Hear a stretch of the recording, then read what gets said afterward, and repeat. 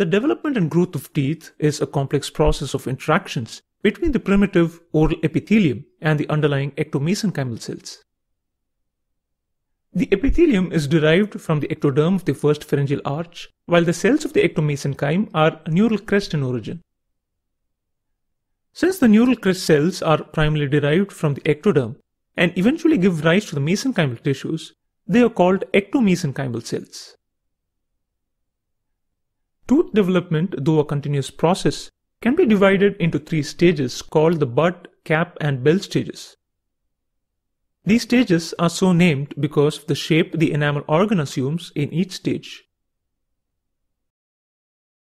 So in the bell stage, the enamel organ continues to grow and assumes a bell shape. So before we get into the details of the events happening in the bell stage, let's have a look at the different types of cells constituting the whole tooth germ at this stage. Like the cap stage, the early bell stage comprises of an inner enamel epithelium lining the concavity of the bell and an outer enamel epithelium lining the periphery of the enamel organ.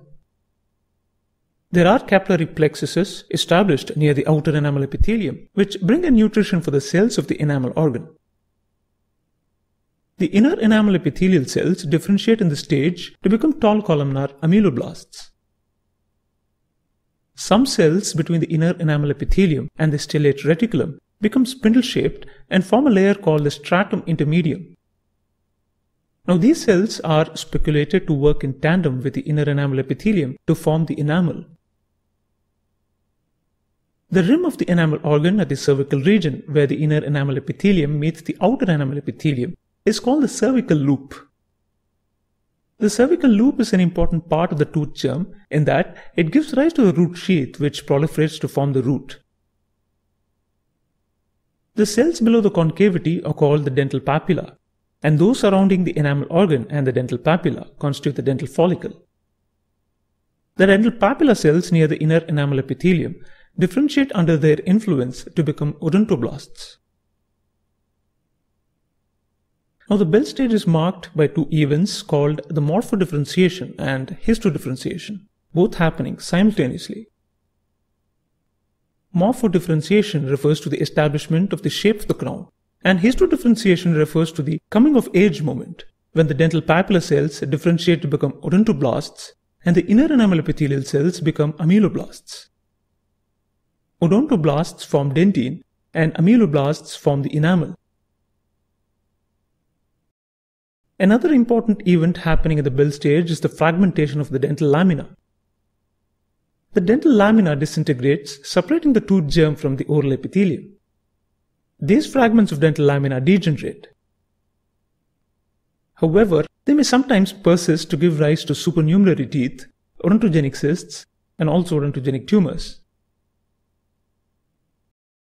It was initially thought that the ectomesenchyme exerted pressure on the inner enamel epithelium giving it the bell shape, thereby determining the shape of the crown. However, that is not the case. Just like the cap stage, the enamel organ assumes a bell shape because of the differential growth of cells. So let's try to understand how this happens, and remember that morphodifferentiation and histodifferentiation happen simultaneously. The inner enamel epithelium in the early bell stage secrete growth factors and signaling molecules which help in differentiation of dental papilla cells to become odontoblasts. Simultaneously, the inner enamel epithelial cells corresponding to the future cusp tip position begin to differentiate into ameloblasts. Once the inner enamel epithelial cells differentiate, they stop proliferating. However, the adjacent inner enamel epithelial cells that have not differentiated continue to divide, exerting a pressure also, the inner enamel epithelium is constrained and restricted by the cervical loop.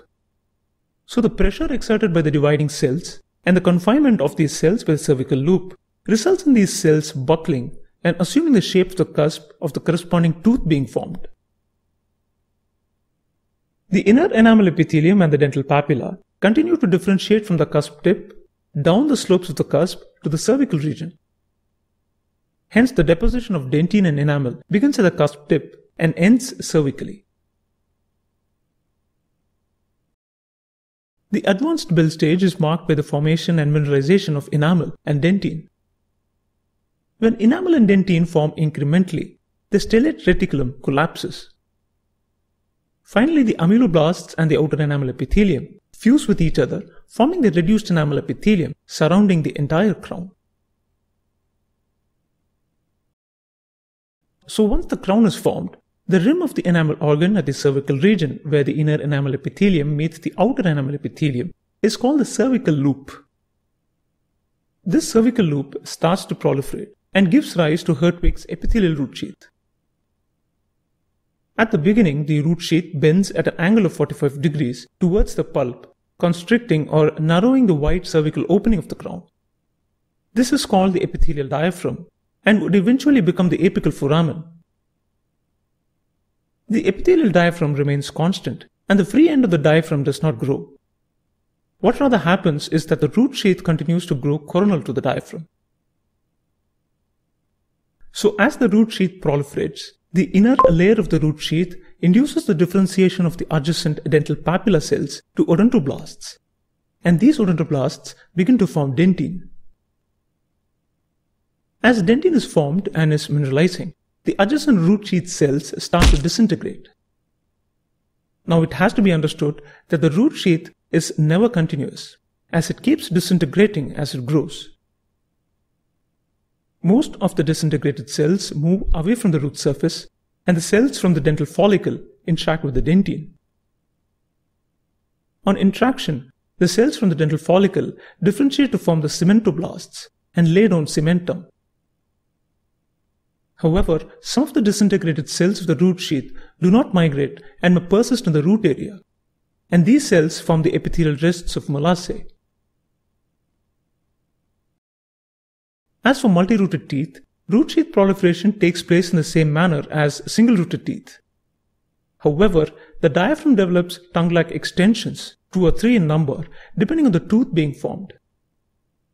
These extensions fuse with each other, dividing the apical foramen opening into two or three openings.